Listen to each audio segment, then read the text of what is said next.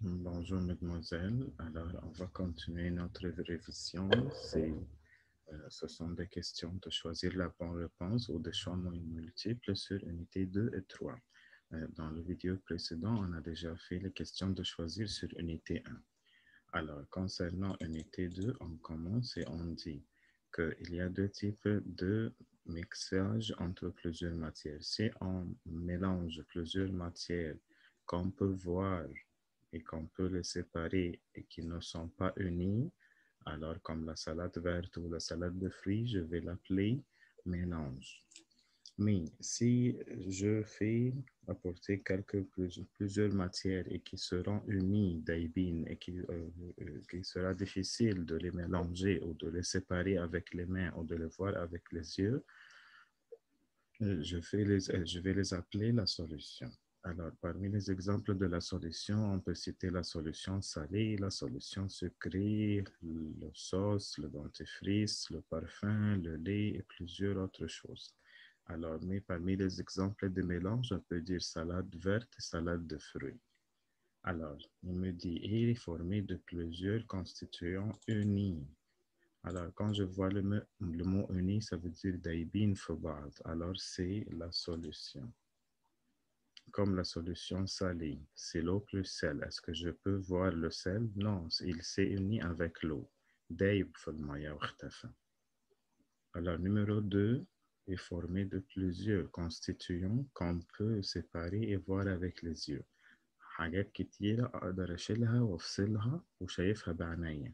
Salade et je peux voir les fruits, par exemple, les fraises, les bananes, et je peux séparer, je peux enlever, je peux éloigner euh, les bananes, par exemple. Je peux les voir je peux les séparer. Alors, c'est un mélange. C'est un mélange, c'est un constituant de plusieurs matières solides qui ne sont pas unies.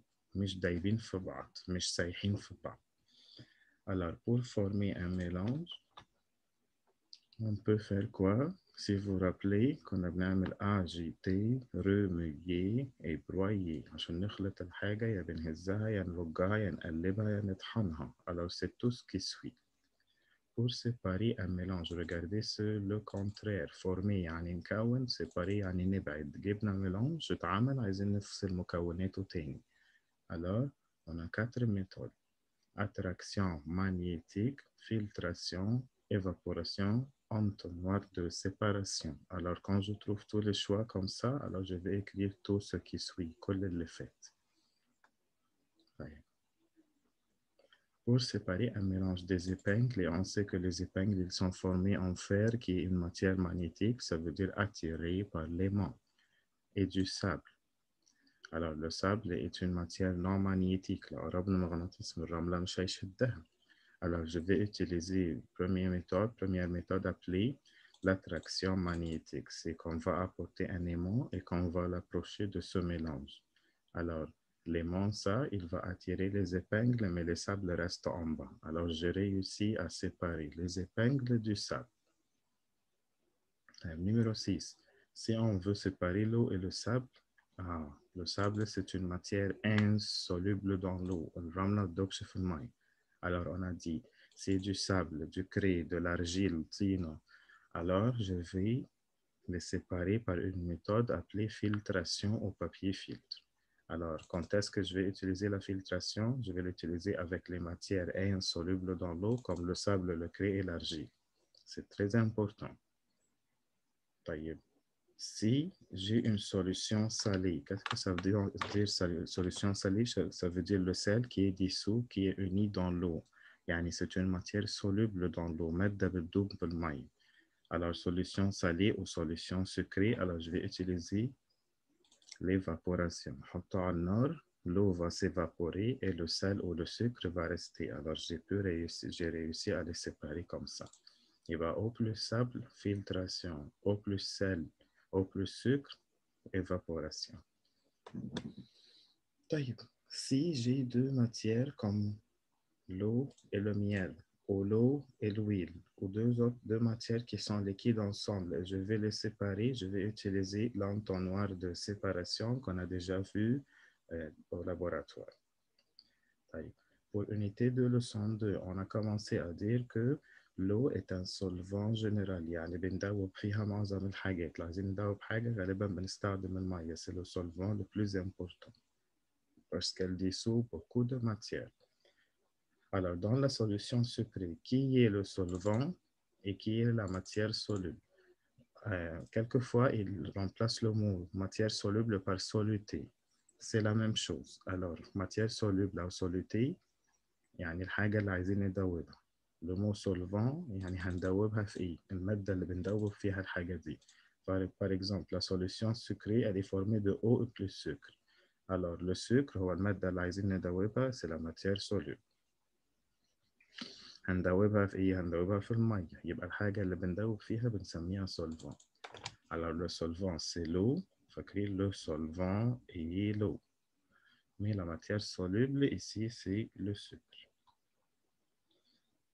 Parmi les facteurs qui affectent la dissolution الحاجات اللي بتسرع الذوبان قلنا dissolution عن الذوبان عايزين ندوب حاجة بنسرع ازاي تدوب بسرعة c'est la quantité du solvant, c'est le genre de la matière soluble, la chaleur et remuer. C'était quatre facteurs. 1, 2, chaleur 3, remuer 4. Alors, je vais choisir tout ce qui suit. Donc, par exemple, au numéro 12, quand la chaleur augmente ou quand on chauffe la منسخن matière, le temps de dissolution. الوقت الذوبان هياخده هيبقى كتير ولا قليل؟ أكيد لو سخنا حاجة هتدوب بسرعة فالوقت هيبقى بسرعة فيعني هيبقى قليل خالص هتخلص الذوبان بسرعة. يبقى temps diminue. أو je vais dire لو قال لي la vitesse de dissolution يعني سرعة الذوبان هقول له تبقى كبيرة يبقى augmente. طب والوقت؟ الوقت هيبقى قليل عشان تخلص بسرعة هتدوب بسرعة يبقى le temps diminue. بدل ما ياخد ساعة عشان يدوب هياخد دقيقة يبقى الوقت بدل ساعة بقى دقيقة بقى قليل لكن السرعة زادت بقت حاجة بسرعة يبقى الفيتاس augmente أو temps diminue الاتنين نفس المعنى طيب commençons par unité 3 la relation entre chat et souris ou par exemple deux lion et gazelle alors on voit qu'il y a un être prédateur c'est un être qui mange l'autre petit être vivant et il y a un être appelé proie, c'est le petit être vivant que sera mangé. Alors, la relation entre le prédateur et la proie, c'est une relation de efteros, prédation, La relation entre bactéries de nodosité et les légumineuses, qu'on a expliqué dans les vidéos précédentes et dans les cours en ligne et à la classe, on va voir que c'est une relation de symbiose, ça veut dire les deux vont profiter. La relation entre les éponges et les petits micro-organismes qui y vivent est une relation de commensalisme. Pourquoi? Parce qu'il y a un être qui est le micro-organisme qui profite et un autre être qui ni profite ni subit du mal. C'est comme les, les petits micro-organismes. Numéro 5, la relation entre la moustique et l'homme. Alors, on sait que la moustique est un ectoparasite, ça veut dire un être qui cause du mal à l'homme, mais il n'entre pas dans son corps. Alors, c'est une, relation de parasitisme entre le parasite appelé moustique et l'autre, l'être l'homme. Alors, la relation entre le, parasite et l'autre, moustique ou l'homme, c'est une relation de parasitisme. Alors, la relation entre le champignon et le pain. Champignon de moisissure du pain et le pain, ou le champignon de l'agaric. Quand je vois le mot champignon, ce sont les êtres qui mangent les choses mortes. Alors, les cadavres, le reste organique, les choses usées, الحاجات البايظة والميتة. Alors, c'est une relation de saprophytisme. بنسمي الشامبينيون سابروفيت ورelation ما بين وما بين الحاجة اللي بياكلها بنسميها saprophytisme.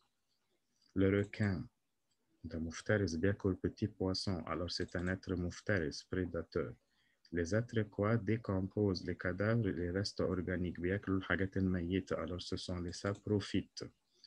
Alors, les êtres quoi dévorent. Le verbe dévorer, ça veut dire manger ou avaler. يبلع وياكل ويفترس. Alors, ce sont les êtres prédateurs. طب les êtres quoi causent du mal à leur hôte. اتفقنا ان في êtres بنسميه بارازيت اللي هو الدودة الشريرة بتخش جوه جسمنا وتأذينا. وإحنا لما بنتأذي بنتسمى القط القطر اللي بيخش جوه الدودة ويعيا. فلا ça et ça est appelée parasitisme لكن الدودة نفسها بنسميها قطر بارازيت Alors, l'écosystème, ça veut dire le milieu, اللي حوالينا. بيتكون من إيه؟ البيئة اللي حوالينا. بيتكون من facteurs vivants comme air, eau et sol et facteurs non vivants comme la terre. Ok, alors c'est- c'est- le- l'écosystème est composé de tout ce qui suit. البيئة كل ما يحيط بالإنسان من كائنات حية ومن جماد. Alors c'est fa- facteurs vivants هم كائنات حية facteurs non vivants يعني الجماد comme l'air, eau et sol. Alors ce sont facteurs vivants comme les animaux, la plante et l'homme, facteurs non vivants comme air, eau et sol. Alors les trois sont justes, alors je vais choisir le numéro D, tout ce qui suit. Ça va? Merci à vous, mademoiselle.